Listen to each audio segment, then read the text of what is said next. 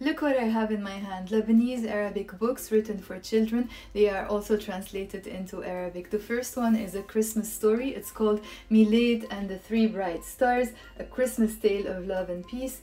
ميلاد ونجوم ثلاثة الساطعة قصة ميلاد عن الحب والسلام It's a story about the main character called Milad discussing with his friends, a bunch of children, what are the things they can do to make this world more peaceful, a better place and without wars. it's a great, great story, really heartwarming, really inspirational. And the best thing about it is that it's translated into Arabic, written in the Arabic script but in Lebanese Arabic. This is not a Fusha book, this is a Lebanese Arabic book, and every book comes together as a hard copy and also with a video book, audio book, and ebook. Everything is recorded with my voice one time I recounted in English only, one time I recounted in Arabic only, and another time I recounted very, very slowly each passage on its own, once in English, once in Arabic. Great for you to practice your pronunciation if you're even an adult trying to learn spoken Lebanese Arabic or Levantine Arabic. So, this is a great book not only for children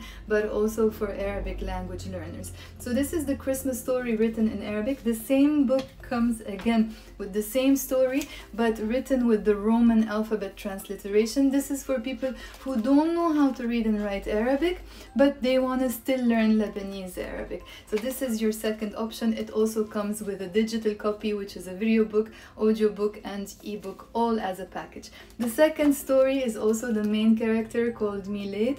It's called Milad discovers the magic of discipline. Milad بيكتشف سحر الانضباط. It's also things that we should learn as children. It's a story again about the main character discussing ways with his friends about how they can become disciplined, what are the things that they can achieve, and what are the goals they should set, and how they can achieve their dreams and goals. Really inspirational story. Again, this one is with the Roman transliteration, which means if you don't know how to read and write Arabic, you can read it with the Arabic chat alphabet. And if you want to read it with the Arabic script, it's Lebanese Arabic, but written with the Arabic script. Again, all recorded with my voice, all come with a digital copy, a video book, audio book, and an ebook. This is a great, great gift for yourself if you're learning Arabic or for your children or the friends of your children. We have a habit in Lebanon of speaking English and French more than Arabic. It's good that we mix things and we are multicultural, but at the same time, bedtime stories don't always have to be in French and English.